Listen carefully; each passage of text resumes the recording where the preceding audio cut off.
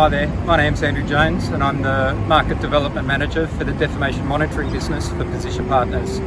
Thanks to some of the growth and success we've had here in Australia, we're now looking to expand our team in Auckland, New Zealand.